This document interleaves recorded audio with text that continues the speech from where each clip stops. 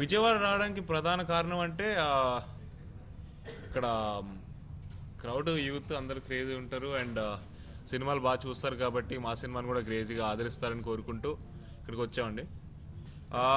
Bubble gum అనేది ప్రైమరీగా love story అండి. అంటే ప్రేమలో ఉండే ఇష్ట కష్టాల గురించి ప్రేమలో పడిన తర్వాత కష్టాలు ఈ జనరేషన్ యూత్ ప్రేమ ఎలా ఎక్స్ప్రెస్ చేస్తున్నారు అండ్ ఈ జనరేషనే కాదు ఎవరైనా కూడా లవ్లో పడి ఉంటారు. సో ఆ లవ్ని మళ్ళీ ఎక్స్పీరియన్స్ చేయడానికి థియేటర్స్కి వచ్చి చూడాలని కోరుకుంటున్నా. చాలా ప్రేమ కథలు ప్రేమ కథల కన్నా చాలా డిఫరెంట్ అని నేను నమ్ముతున్నా. ఎందుకంటే ద వే రవికాంత్ స్టోరీ రాసిన విధానం కానీ మొత్తం ఈ జనరేషన్లో లవ్ ఎలా ఎక్స్ప్రెస్ చేస్తున్నారు అనేది నాకు తెలిసి మేము నేను చూపించినట్టు ఎవరు చూపించలేదు ఇప్పటివరకు తెలుగు సినిమాలో. అండ్ చాలా రిలేటబుల్గా ఉంటుంది. అండ్ ఒక అంటే ప్రేమలో పడిన తర్వాత ఫస్ట్ అంటే తీయగా ఉంటుంది చాలా హాయిగా ఉంటుంది తర్వాత మెల్లిమెల్లిగా కష్టాలు వస్తూ ఉంటాయి ఇద్దరి మధ్యలో విభేదాలు వస్తూ ఉంటాయి.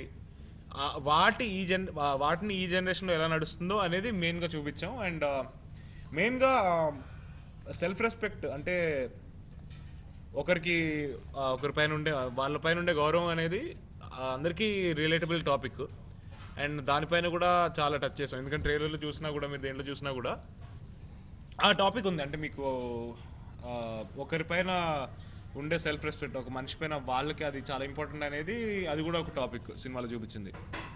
సో దాని గురించి థియేటర్స్కు రావడం రావాలని నేను కోరుకుంటున్నా.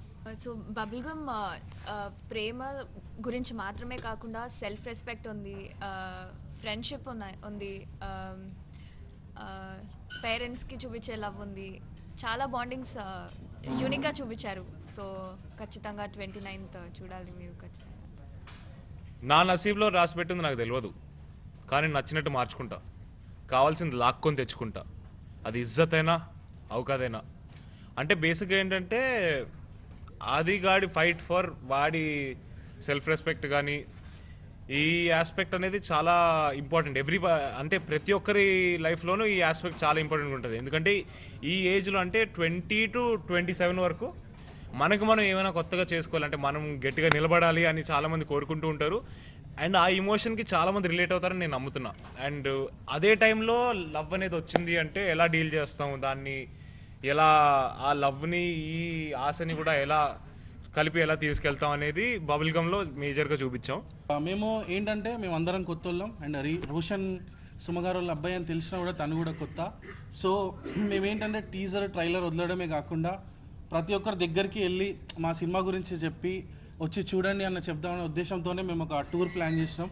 దాంట్లో ఫస్ట్ విజయవాడ అనగానే మేము కొంచెం ఎక్సైట్ ఫీల్ అయినాం.